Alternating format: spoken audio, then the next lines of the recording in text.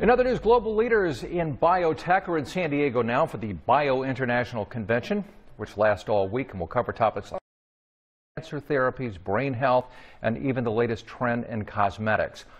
Megan Tevrizian at the uh, downtown convention center. I didn't realize how big this thing was till I went on the website. She's got this story. People from all over the world will be here at this convention. Former British Prime Minister David Cameron and Ann Romney are keynote speakers here later this week. But today, what's breaking news has to do with genomics.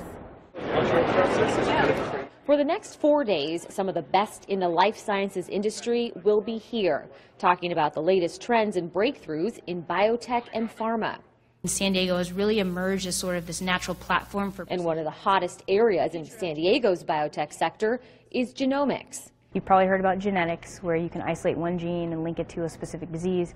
Well, you've got a whole lot of those genes, and collectively, that's the genome. Genomics, at its core, is mapping the human genome, which can lead to understanding a person's risk for disease and how to treat it. A lot of your genetic makeup actually also affects how you respond to drugs. There have been a lot of studies about San Diego's biotech and research industries, but there's never been a study specifically on genomics until today.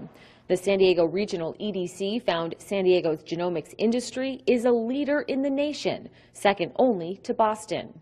And we're very, very close to Boston, and easily within striking distance. And I think with a little bit more emphasis on this, with a little bit more collaboration and a little bit more focus, we should be giving Boston a run for its money long into the future. If you can imagine, uh, if you could personalize medical treatment, um, how transformative that would be. And it's transforming the San Diego job market too. Over 115 firms are here, including Illumina, the largest sequencing company in the world.